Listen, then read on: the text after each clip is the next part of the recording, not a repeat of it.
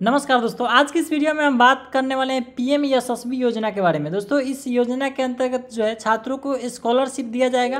और ये दोस्तों, जस्ट ही यहाँ पे सत्रह तारीख के डेट में ट्विटर हैंडल पर जो ट्विटर हैंडल यहाँ पे देख लीजिए, यहाँ पे जो है ministry of social justice and employment जो है भारत सरकार का, वहाँ से ये ट्वीट किया गया है, ये ऑफिशियल ट्विटर हैंडल है। और यहाँ पे दोस्तों देख सकते हैं, दो तीन ट्वीट किया गया है जिसमें यहाँ पे साफ़ साफ़ बताया गया है इस योजना के बारे में और इस योजना का शुरुआत किया गया है जिसमें आपको यहाँ पे स्टूडेंट को सौ प्रतिशत स्कॉलरशिप मिलने वाला है और जिसमें छात्रों का चयन किया जाएगा। इसमें जो है कक्षा नौ से लेके ग्यारहवीं तक के छात्र और उसके बाद दोस्तों बारहवीं के बाद भी जो छात्र हैं, उनको इसमें जो है स्कॉलरशिप दिया जाएगा। यहाँ पे जो है माता पिता का वार्षिक आय अढ़ाई लाख रुपया से कम होना चाहिए और इसमें दोस्तों छात्रों को जो है कक्षा नौवीं और दसवीं को यहाँ पे पचहत्तर हज़ार रुपया प्रति वर्ष और वही दोस्तों, एक लाख पच्चीस हज़ार रुपया प्रतिवर्ष जो है ग्यारहवीं और बारहवीं के छात्र के लिए होगा। यानी कि दोस्तों, ये सारा पैसा जो बताया जा रहा है, इसमें छात्रों को यहाँ पे जो रहने से लेके हर एक चीज़ की सुविधा है। यहाँ पे स्टेशनरी, किताब मतलब सब कुछ मिला के पैसा मिलने वाला है। चलिए, इसके हम ऑफिशियल नोटिफिकेशन यहाँ पे ट्विटर हैंडल पे ये जो ट्वीट किया गया है, यहाँ पे लिंक है, इस पर क्लिक करते हैं और भी जानकारी हम आपको बताते हैं।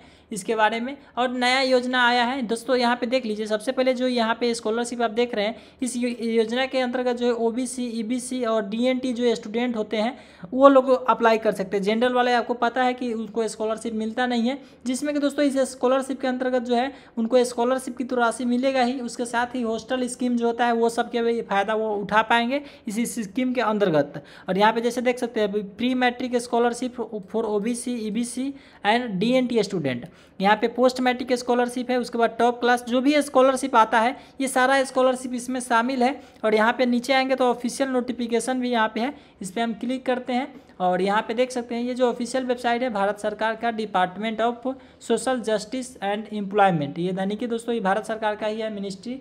और यहाँ पे हम आते हैं, और यहाँ पे इसके बारे में देख सकते हैं, ये जो सेशन वगैरह दिया हुआ है, और ये जस्ट ही इस योजना का शुरुआत करके ट्विटर पर ट्वीट किया गया था।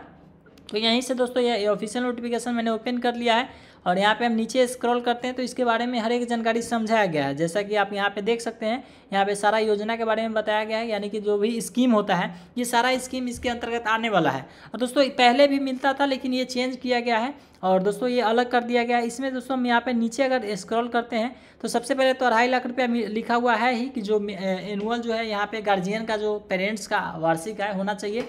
उसके बाद दोस्तों यहाँ पे नाइन्थ टेंथ उसके बाद ट्वेल्थ ये सारा स्टूडेंट इसमें आ जाएगा।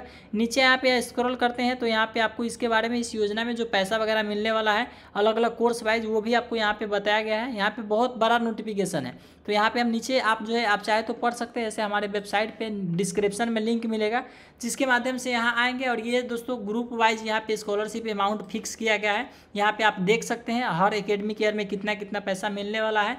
और इसका दोस्तों जो प्रोसेस है, यहाँ पे सब कुछ लिखा हुआ है कि नौवीं के छात्र को जो है इतना रुपया दिए जाएँगे, वही दोस्तों एक लाख पच्चीस हज़ार यहाँ पे दसवीं और ग्यारहवीं हो जाता है। ये सारा दोस्तों एक साल के अंदर में ये सब प्रोवाइड किया जाएगा। और ये जस्ट योजना का शुरुआत किया गया है। ट्विटर पे जस्ट ट्वीट किया गया है सत्रह तारीख के डेट में। अब दोस्तों हम इसके लिए बात करते हैं क्या क्या इसमें डॉक्यूमेंट लगेगा। तो आय प्रमाण पत्र होना चाहिए, जाति प्रमाण पत्र होना चाहिए। उसके बाद स्कूल कॉलेज का जो फ़ीस होता है, उसके बाद प्रमाण पत्र हो गया, पता का मतलब कि Aadhaar card bank passbook passport size photo इत्यादि, यही सब लगता है।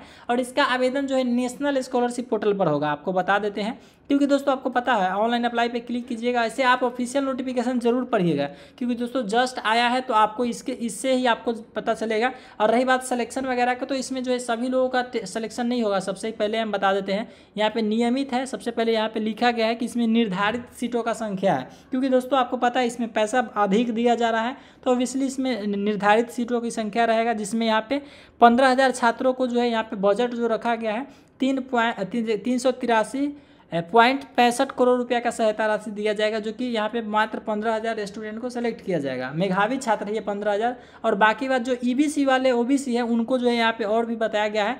तो दोस्तों, यहाँ पे हम आ जाते हैं नेशनल स्कॉलरशिप पर, ये पोर्टल है। और यहाँ पे दोस्तों ऑफिशियल नोटिफिकेशन है। डॉक्यूमेंट आपको हम बता ही दिए। और इस, दोस्तों इस पर आपको रजिस्टर्ड करके इसी में आपको इसका स्कीम देखेगा। यहाँ पे आप नीचे स्क्रॉल करेंगे तो यहाँ पे अलग अलग जैसे कि देख सकते हैं ministry of social justice and employment इस पर क्लिक करेंगे। तो इस पर अभी ऑनलाइन शुरू नहीं हुआ है। और यहाँ पे जैसे ऑनलाइन शुरू होता है तो हम आपको सबसे पहले वीडियो बना के देंगे। क्योंकि अभी दस्ट यहाँ पे योजना का शुरुआती किया गया है पीएम यशस्वी योजना। तो जैसे शुरुआत होता है, जैसे ऑनलाइन होता है तो आपको हम वीडियो बना के देंगे। तब तक के लिए दोस्तों, जो भी एलिजिबिलिटी है, कैसे इसमें टेस्ट होगा या क्या होगा, ये सब आप नोटिफिकेशन पढ़ के समझ सकते हैं। आपको डिस्क्रिप्शन में मेरे वेबसाइट का लिंक मिलेगा, हिंदी में सर, हर एक चीज़ लिखा गया है। आप यहाँ पे पढ़ लीजिएगा और ऑफिशियल नोटिफिकेशन यहाँ से डाउनलोड करके देख लीजिएगा, ताकि आपको जानकारी मिल जाए। और नेक्स्ट वीडियो का इंतज़ार कीजिए, जैसे ऑनलाइन शुरू होता है पीएम एम योजना के अंतर्गत। तो हम आपको वीडियो देकर प्रोवाइड करेंगे। चलिए आप मिलते हैं किसी और वीडियो में। तब तक के लिए धन्यवाद।